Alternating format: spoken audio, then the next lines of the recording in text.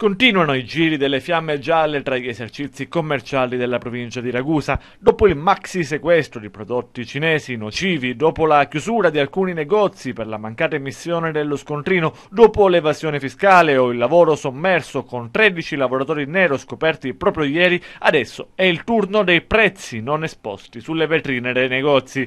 Sembra proprio che in tempo di crisi molti commercianti si danno aiuto raggirando la legge, anche le più elementari regole regole del mercato. Questa volta, sotto la lente di ingrandimento dei finanzieri, c'è stato il comune di Pozzallo. Qui ben la metà dei negozi non espone il prezzo del prodotto in vendita. C'è quindi chi mette in evidenza oggetto e prezzo e chi invece pensa di occultarlo, magari per far entrare il potenziale cliente dentro il negozio e iniziare a contrattare il prezzo migliore, che spesso è sempre quello più vantaggioso per il commerciante stesso. Le fiamme gialle pozzallesi hanno battuto a tappeto gli esercizi esercizi commerciali della zona riscontrando irregolarità nella metà dei casi e saranno sanzionate in via amministrativa con importi che vanno da un minimo di 516 euro sino ad un massimo di 2582 euro. Una bella cifra se si pensa che sarebbe bastato un cartoncino bianco e l'indicazione chiara e leggibile del prezzo di vendita del prodotto.